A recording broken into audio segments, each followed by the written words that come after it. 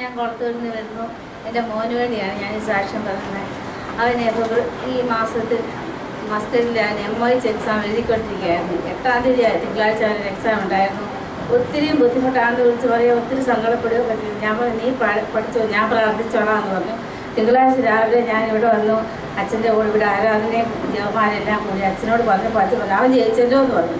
അത് കഴിഞ്ഞ് ഞാൻ വീട്ടിൽ ചെന്ന് ഇവിടുത്തെ പ്രാർത്ഥന എല്ലാം ഞാൻ മൂന്ന് മണിയായപ്പോൾ വീട്ടിൽ ചെന്നപ്പോൾ കൊച്ചു വിളിച്ചിട്ട് പറഞ്ഞു അമ്മ ഇത്രയും നല്ലൊരു പരീക്ഷ ഞാൻ എഴുതിയിട്ടില്ല. ജയിച്ചു ഇന്ന് തന്നെ ഡ്യൂട്ടിക്ക് കയറിക്കോളാൻ പറഞ്ഞു പറഞ്ഞു. ഇത് പ്രാർത്ഥിച്ച അച്ഛനും ഈശോയ്ക്കും മാതാവിനും പ്രാർത്ഥിച്ച എല്ലാവർക്കും ആയിരമായിരം നമുക്ക് ദൈവത്തിൽ നിന്ന് പറയാം എം ഒ പരീക്ഷയുടെ റിസൾട്ട്. ഇവിടെ വന്നിരുന്ന് പ്രാർത്ഥിച്ചു സാക്ഷ്യം പറഞ്ഞുകൊള്ളാമെന്ന് പറഞ്ഞു. ദൈവത്തെ മഹത്വപ്പെടുത്തിക്കൊള്ളാമെന്ന് ഹൃദയത്തിൽ വിജയമെന്ന് സമ്മതിച്ചതേ ഉള്ളൂ. ഉടനെ കർത്താവ് അനുഗ്രഹിച്ചു. നമുക്ക് കർത്താവിൽ നേരുന്ന നേർച്ചകൾ അത് പ്രത്യേകിച്ച് സാക്ഷ്യം പറഞ്ഞുകൊള്ളാമെന്ന് പറയുന്ന നേർച്ചകൾ.